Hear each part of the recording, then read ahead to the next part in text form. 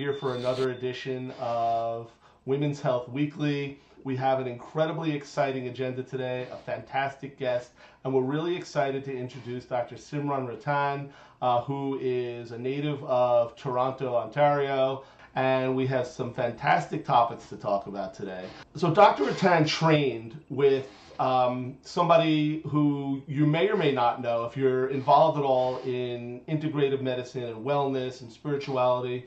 Uh, you may know this name, uh, a man named Dr. Andrew Weil, the person who's taught everybody else around the world about the value of integrative medicine. He's brought the world of Western science and good science into understanding, into creating our understanding as a medical profession and as a profession of people who take care of patients using integrative approaches. He's brought that science into our understanding, and that's what we're going to talk about today. So let's jump right into it, Dr. Rattan. So the first thing that comes to my mind, and I imagine this is the first thing that comes to the mind of other people as well, is you say spirituality, I think religion.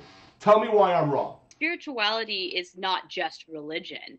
Um, it's basically about what you want in your life that gives you meaning, that gives you purpose, what brings you joy. So it's like almost like a different mindset that we think of. We think that it's a has to be, you know, okay, I have a particular practice that I do, and that may be the case for some people. Maybe it is a meditation practice, maybe it's a yoga practice, maybe it's something that gives them joy or brings meaning in their life. But everyone is seeking meaning and purpose in their life, and that's what spirituality is: is what gives me meaning, what gives me purpose, what kind of connections do I have, what relationships, and how they play out or be expressed in our daily lives. So people who don't yeah. generally consider themselves to be religious, they don't go to a religious service on a regular basis, they don't regularly talk to um, some sort of religious leader, uh, whatever that religion may be, they can still have a level of spirituality that's at a very high level um, because yeah. they're connected to the things that give them meaning, give their lives meaning, give them give them joy. In the Western society, we tend to feel like spirituality is private, but in most other places in the world, spirituality is actually the opposite. It's pretty open, right? Um, and that, and so we engage in things. We think that it is relationships between us and other people, looking for meaningful relationships, looking for um, connection, looking for things that bring us joy. Basically, anything that uplifts your spirit. So a good question to ask is like, ask yourself is, you know, what what uplifts my spirit today? Or you know how are my spirits today? Are they high? Are they low? You know we say that in a figure of speech. So so it's almost like that's similar to what we're saying. What are the needs of our deeper spirit? And so you know it gets into this whole like well when people who don't have a uplifted spirit they are in something that's called spiritual distress and that's a different topic. But that's pretty much um, you know understanding that giving what gives you meaning in your life what brings purpose what's joy and how that is connected in your relationships. Maybe it is something sacred. Maybe it does include religion but maybe it's just you trying to be connected to the things that you love. It almost makes me think about the opportunity for someone to keep track, to keep a mm-hmm. diary, um, to keep a log of yeah. what they felt connected to on that day, what lifted them up mm-hmm. emotionally, or what made them feel anxious, sad, depressed, or stressed.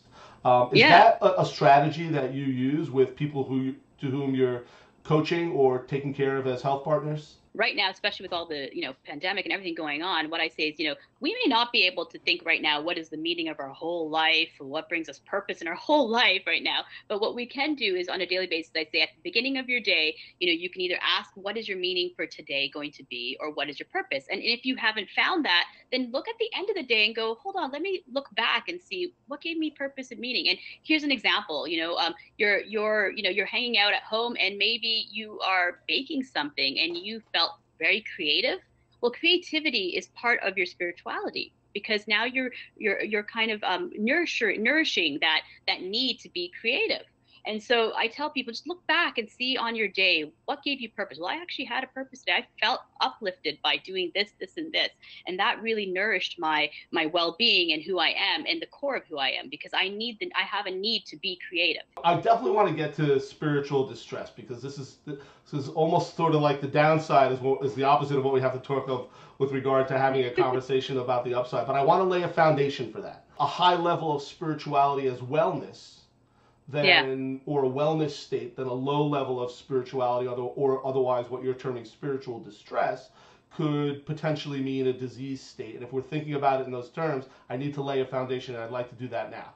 So when we talk about spiritual distress, we're not really saying it's a like they're um, a lower level of spirituality. What we're saying is that they're having conflict within, maybe with something of their beliefs or their values and things that are impeding on their belief. Um, for example, if uh, and you're right, like if someone has a disease state, they might be in spiritual distress. But I'm in prevention medicine, so I'm also looking at spiritual distress in the preventive side, which is honestly not really as, um, as I guess noticeable because they're pretty much all healthy and you know do, trying to stay preventatively uh, healthy. They're trying to stay healthy. But then you look at the palliative side where they are, you're right, in a disease state. And then they're like, okay, I want to get this. But there is a d- different degrees I'm noticing of spiritual distress. There's really bad dis- spiritual distress. And then there's maybe a crisis. You could call it a crisis, a spiritual crisis in the beginning stages of prevention.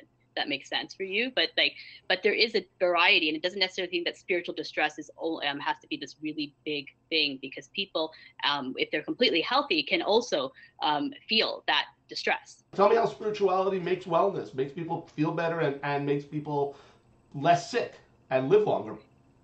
People who engage regularly in spiritual path has an increase in quality of life, have uh, become more resilient, and this is the biggest thing I think is huge is they live 7 to 13 years longer than those who do not and have less incidence of diseases. Now that's a huge number seven to 13 years longer just by engaging in things that are vital and sacred and important to you that give you meaning and purpose. I mean, no pill does that, right?